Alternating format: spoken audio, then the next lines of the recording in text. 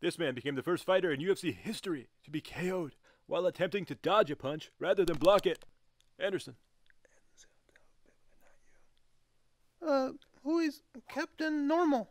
Close but incorrect. And please, no outside help. BJ. Who is Anderson Silva? Yes. Controversy 600.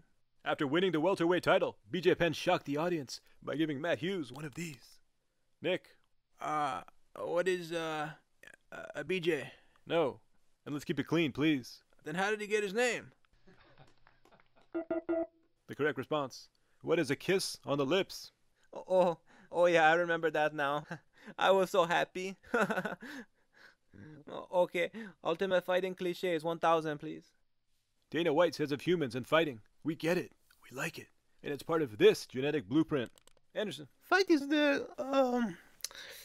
Fight is part of the martial art, the big sport, the big uh, Coca-Cola. No.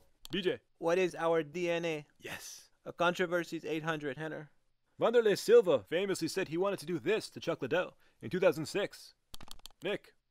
Bam! Knock his ass out. That's what I would have said, anyways. Anderson. Uh, what is fuck Chuck? Yes. Ah, I I knew that one too. I didn't know we could cuss. Controversia, 1000, please. Welcome to the losing money business, said Dana White of this fighter's foray into MMA promotion in 2013. Nick.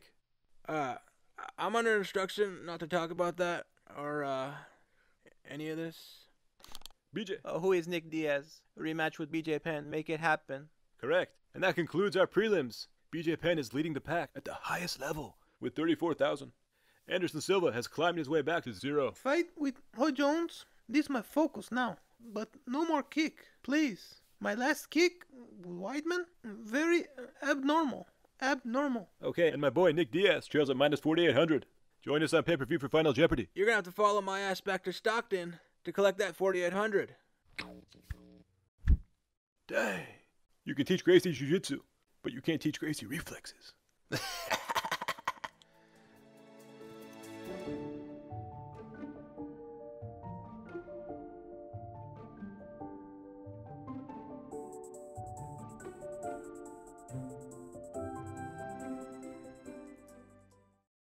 It's normal.